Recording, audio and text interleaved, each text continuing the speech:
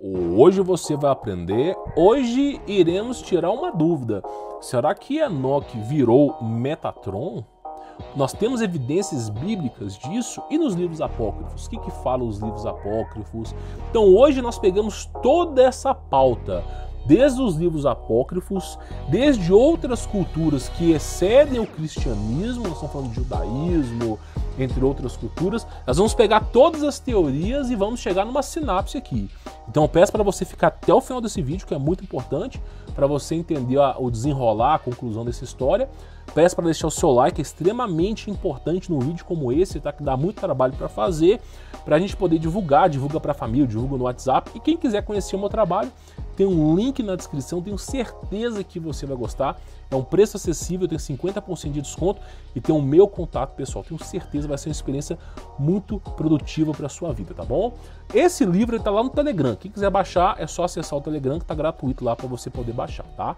Enoch virou Metatron. O que, que é Metatron? Eu vou, eu vou explicar para você, mas de antemão é um anjo, um anjo muito poderoso, tá?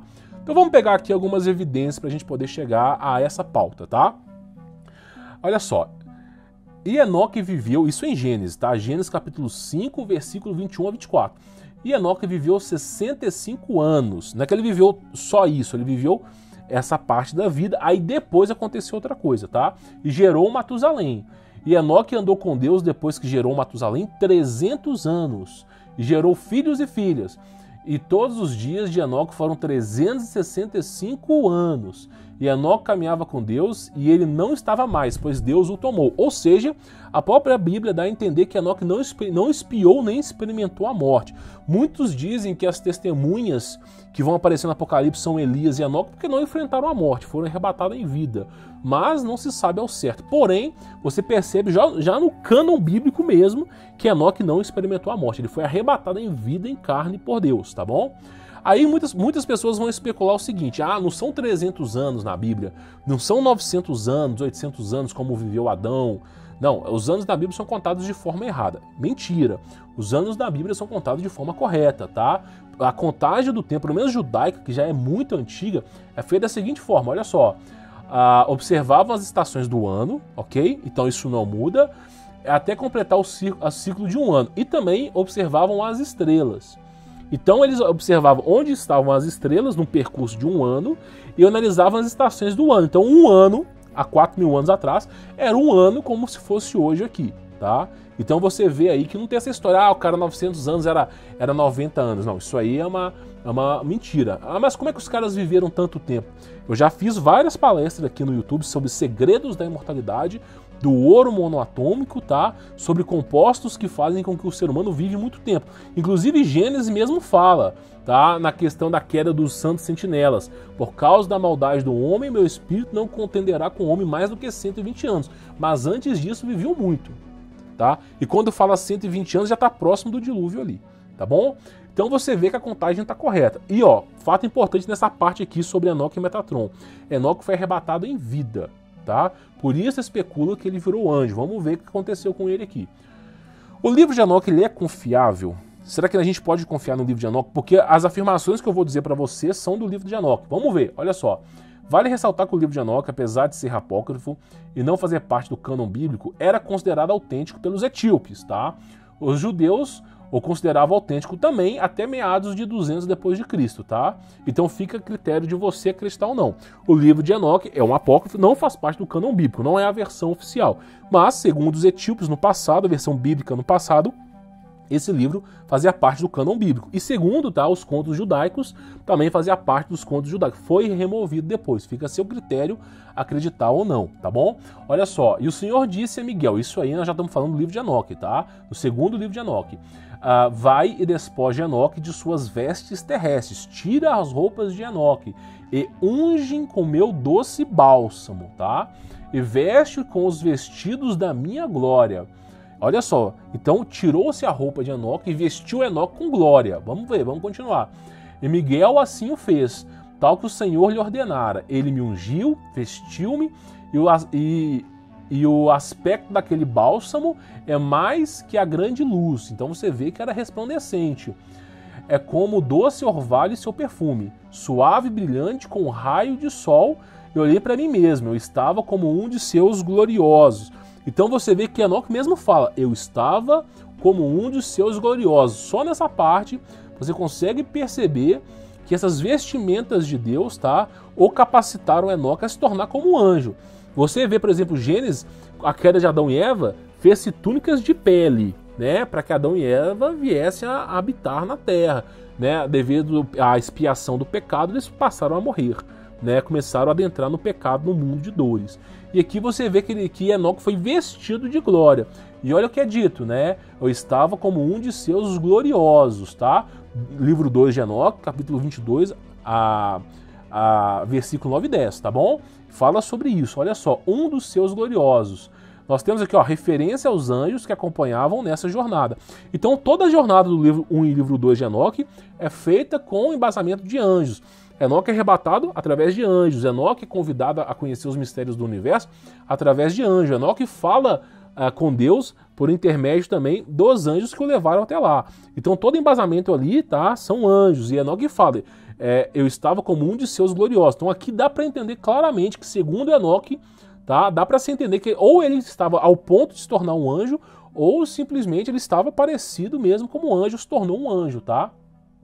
Olha só, Uh, aí nós temos outra referência. Quem que é Metatron? Metatron significa mais próximo do trono. A palavra Metatron significa mais próximo do trono.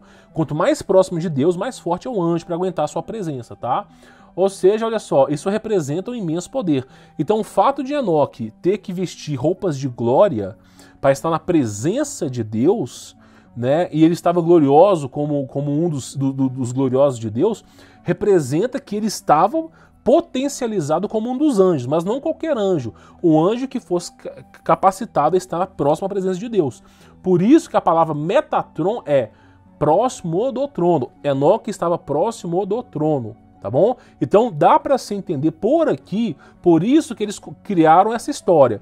Porque olha só, como Enoque ele foi arrebatado em vida, como a descrição de Enoque é que ele foi vestido de glória, foi capacitado como um dos gloriosos de Deus, e a palavra Metatron é próximo de Deus, porque os livros de Enoque dá para se entender que ele estava face a face com Deus, escrevendo o que Deus mandava. Então ele estava próximo de Deus. E o título, para quem está próximo, é Metatron. Tá? Então até, até aqui, nessa base, você já entende que sim, é possível que Enoque seja Metatron. É possível, é especulativo, são livros apócrifos, não fazem parte do cânon bíblico aqui, tá bom? Aí nós temos aqui, ó, a lenda judaica. Aí nós começamos com outras lendas. Aqui nós estamos falando aqui, por exemplo, de misticismo, de lendas, para você ver também que o, os judeus também representavam, tá? Eles têm essa, esse culto de Metatron também, tá? Então Metatron de fato é um culto de várias crenças.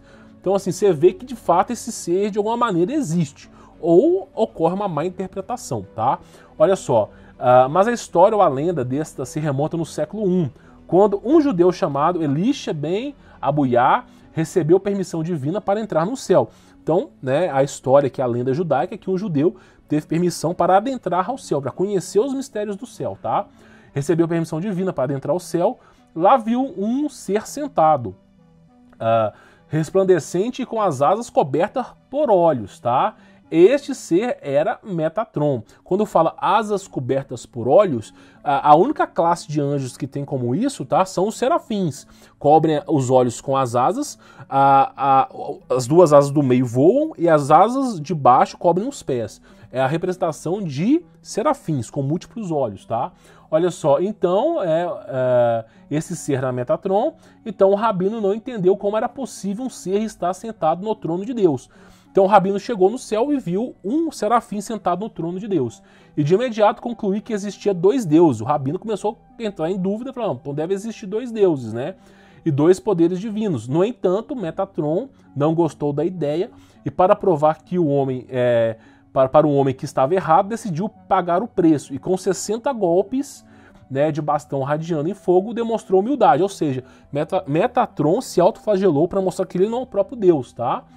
seu lugar na hierarquia e provou que não era Deus. Os, os serafins, eles têm a, a, a, são seis asas. As duas asas próximas da cara é um sinal de humildade a Deus, tá bom? Eles são os anjos mais próximos de Deus, mas com as asas na, tampando a cara, sinal de humildade. Interessante é que na leitura judaica clássica, tá? No livro de Enoque, Metatron desempenha um papel de príncipe do mundo e ganha características importantes. Essa passagem é a peça-chave onde sugerir que Deus transformou Enoque em Metatron, já que em Gênesis há um silêncio quando os motivos que levaram Deus a tomar Enoque para si. Então a Bíblia não descreve de fato, depois que Deus tomou Enoque, o que aconteceu com Enoque. Não é descrito, e por isso começam a acontecer, a aparecer lendas judaicas, lendas é, de todas as crenças que você pode imaginar e que estão difundidas com isso, tá? Então tem essa crença judaica aí, tá? Que Metatron, tá? Estava presente lá próximo a Deus e ele se demonstrou humilde, tá? Mas é um ser muito poderoso. Aí nós temos aqui, tá? Outras crenças, por exemplo, a crença do Zohar, que é uma crença judaica específica, tá? Cita Metatron como jovem e o identifica como um anjo que guiou o povo de Israel no deserto e descreve como um sacerdote celestial. Então eles falam que quem guiou ah, o povo egito, o povo judeu lá no deserto foi Metatron, não foi Deus. É o que eles dizem. Tem traduções que dizem também que Metatron é Jeová, mas eu não vou entrar nesse mérito aqui porque eu não sei. Francamente, não é o meu, meu estudo. Estou trazendo para você até onde eu conheço aqui, tá bom? Metatron é um anjo, serafim já vem falando sobre isso, tá? Na tradição judaica e no cristianismo místico, né? Porque ele não faz parte do cânon bíblico, tá? Em algumas tradições cristãs é tido como o anjo supremo, porta-voz divino, mediador de Deus com a humanidade. Quando fala mediador de Deus com a humanidade, pode ser que seja da antiga aliança, porque da nova aliança o único mediador é Jesus Cristo. Não existe mediadores de anjos aí, tá? A antiga aliança a gente tinha ah, uma leis que regiam um povo, nós tínhamos uma, uma vamos dizer, um, uma possibilidade universal, e com o fim da antiga, da antiga aliança nós temos uma nova aliança, não é renovada, é nova. Por isso que se fez tudo novo, tá? E aí nós temos quem? Cristo Jesus, que é o Deus manifestado na carne. Mas na antiga aliança, provavelmente pode ser que se, se, se Metatron guiou o povo no deserto, provavelmente devia ser o mediador tá, do povo de Israel. Isso segundo os contos místicos judaicos, nem é cânon bíblico judaico, tá bom? Olha só, nós temos a tradição islâmica também, ele também é conhecido como Mitatrust, eu não sei explicar o nome em, em islã aqui, tá? Anjo do véu é mencionado em três passagens do Talmud babilônico também. No folclore é reconhecido como escrivão divino, isso inclusive no livro de Enoch também fala, é uma figura importante na mística judaica. Inclusive é quem, quem é o escrivão divino é Enoch, tá? Enoch se transformou no escrivão divino, ficou lá trinta e tantos dias, se não me falha a memória, escrevendo mais de 300 livros, tá? É uma figura importante na mística judaica e muito comum em textos pós-bíblicos é, e, e ocultistas. Claro, sempre tem esse lado da história, que lhe atribui a invenção do tarot, tá? Então, assim, olha só, a Bíblia nos conta em 1 Timóteo, capítulo 2 a 5, pois há um só Deus e um só mediador entre Deus e os homens, que é Jesus Cristo. Então a nova aliança ali, mediador é Jesus Cristo. Agora na antiga aliança, tem contos judaicos que diz que quem guiou o povo de Israel foi Metatron, que é um anjo muito poderoso que está mediando a, a humanidade, é, fazendo a mediação entre a humanidade e Deus. É considerado como o anjo mais poderoso porque é, é, Metatron é próximo do trono, tá bom? Quanto mais próximo do trono de Deus, mais poderoso é. Então essa é uma das crenças. É uma lenda, uma fábula. Não podemos comprovar se é verdade, tá?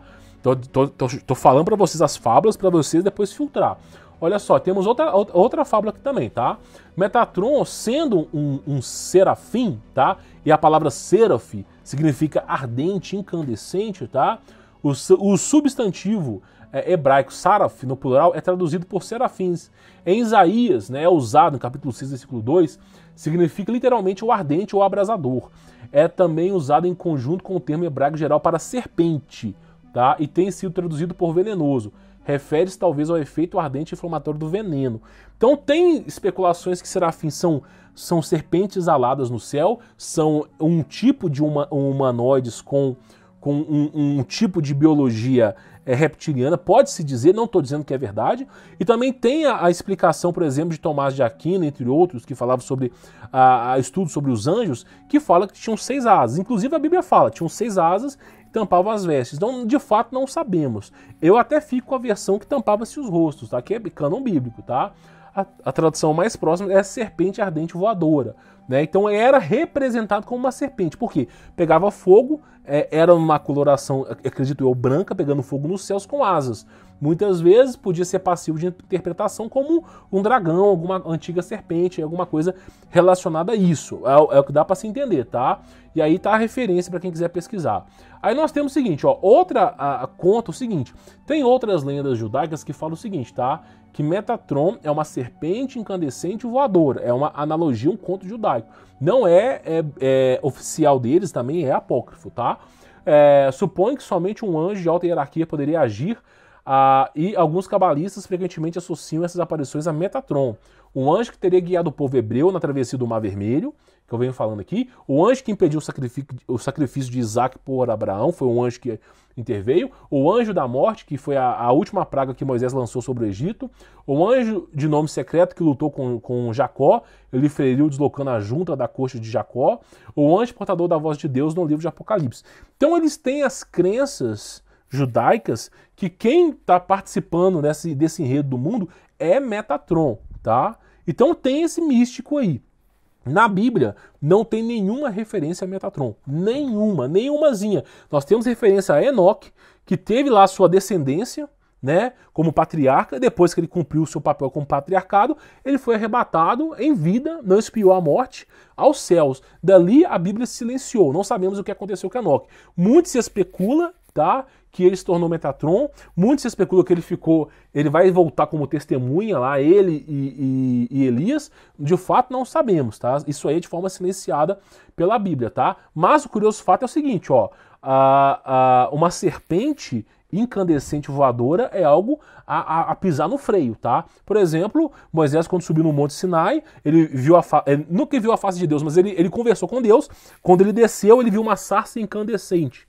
Sabe, isso dá, isso dá uma, um amparo muito grande a Metatron ali. Quando ele estava descendo, ele conversou com a Metatron. Pode ser que tenha sido, tá? E também temos outras referências que Metatron também esteve presente na antiga aliança. Então, assim, são contos, contos, contos. De fato, não sabemos. A evidência conclusiva do cânon bíblico, Enoque é arrebatado aos céus em vida, Deus o tomou para si, tá? E aí a, a Bíblia tem um silêncio. Nos apócrifos, o próprio Enoque diz que ele foi, ele foi glorificado com, a, com as mesmas vestes, tá? É, do, uh, como um dos seus gloriosos, as vestes como gloriosas dos seus anjos, anjos de Deus.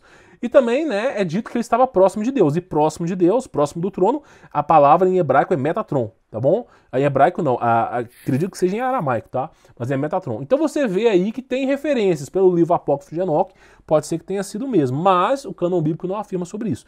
E aí você, qual que é a sua opinião sobre esse assunto? Comente aqui embaixo, é muito importante, tá? Eu peço para você deixar o seu like, é muito importante você deixar o seu like. Esse é um tipo de vídeo que dá trabalho para fazer, tá? Ah, comente as suas perguntas que você tiver aqui embaixo, tá? E também, se quiser conhecer o meu trabalho, tem um link na descrição, tenho certeza vai ser uma transformação para sua vida, tá bom? Vou ficando por aqui, sou Humberto Volts, e não esquece, se quiser baixar esse e-book, tá por lá no Telegram, tá? Fique na paz.